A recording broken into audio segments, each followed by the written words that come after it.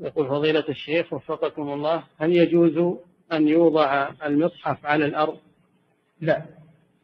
ما يوضع على الأرض مباشرة يوضع على فراش أو على مرتفع؟ نعم.